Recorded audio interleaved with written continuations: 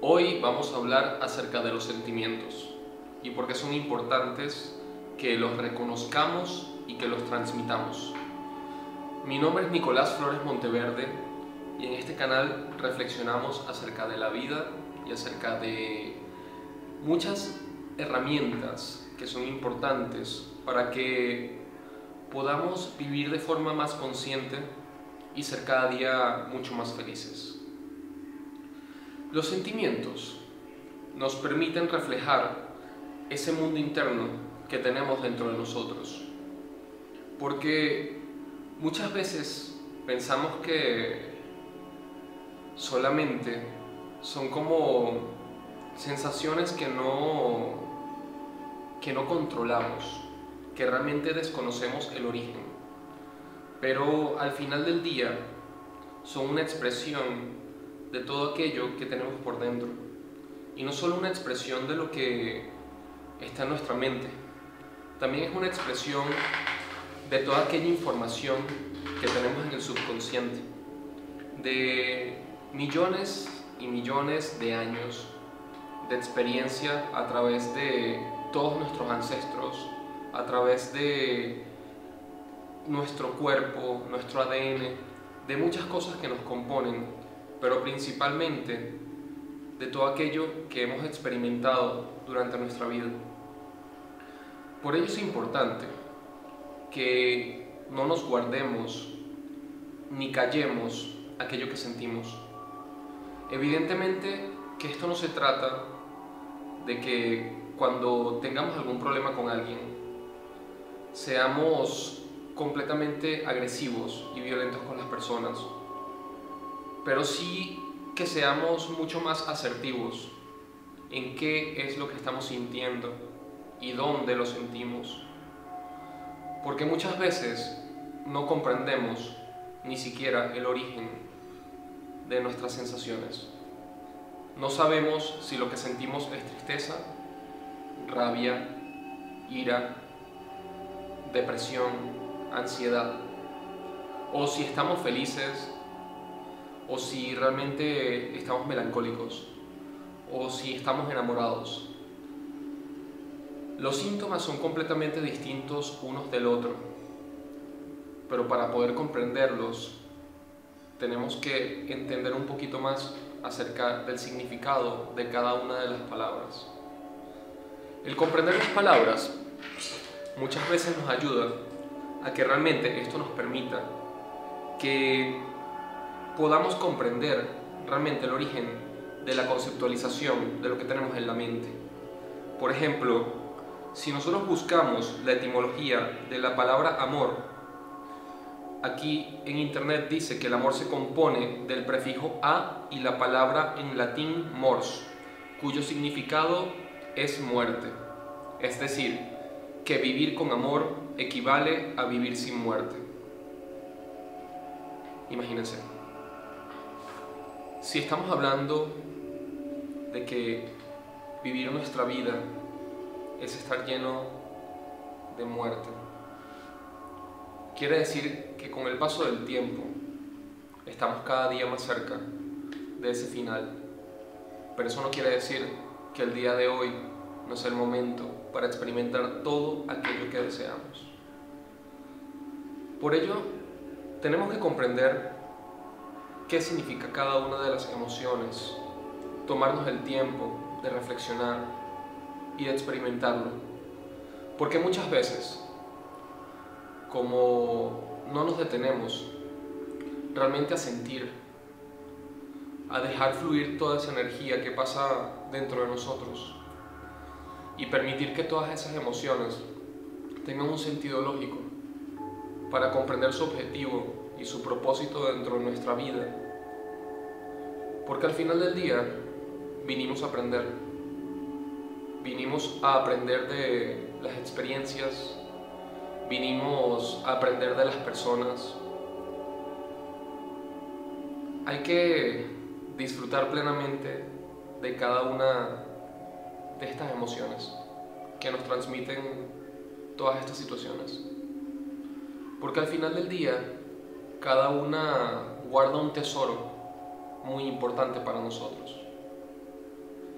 Y en ese tesoro está el verdadero aprendizaje que requerimos en ese momento. Porque el momento no es luego, es ahora. No podemos dejar nuestras emociones para otro día. No podemos dejar todo aquello que sentimos, que está en nuestro corazón, que mueve nuestra alma. No lo podemos dejar a un lado.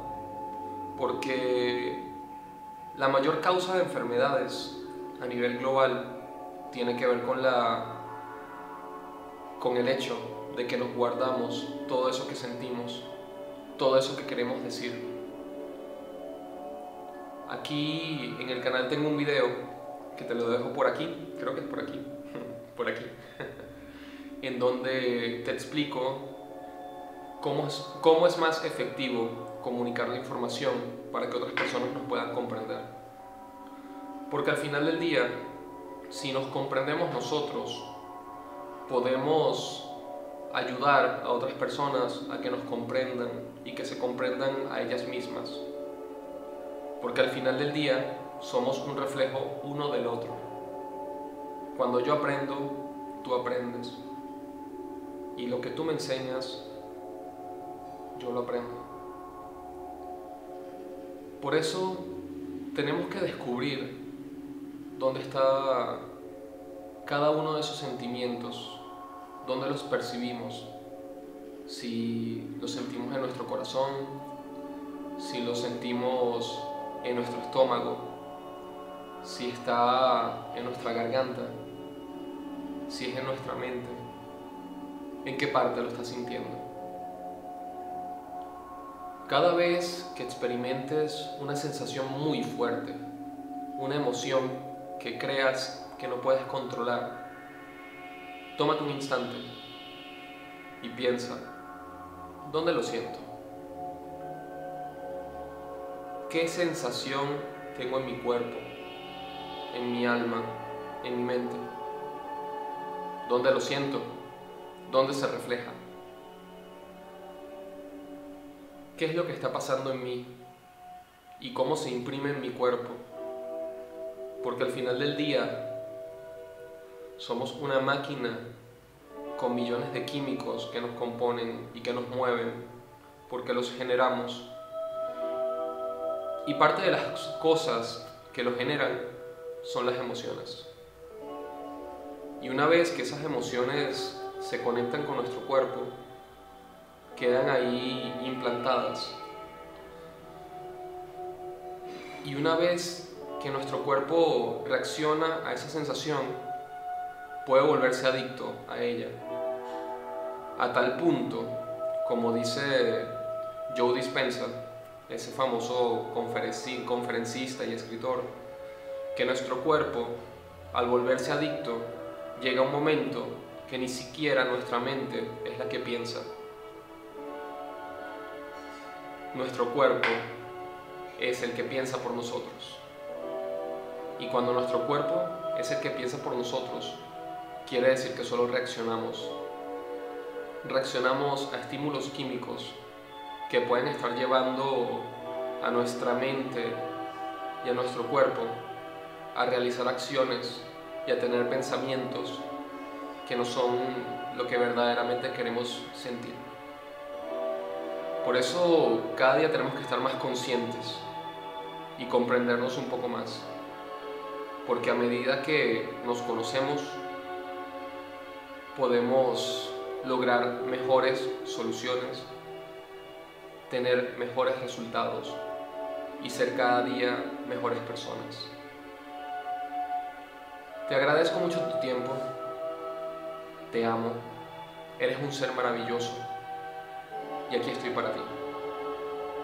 Espero que estas palabras, estas reflexiones y la información que te comparto sea de tu agrado te invito a que si conoces a alguien para la cual le sea importante esta información, se la compartas.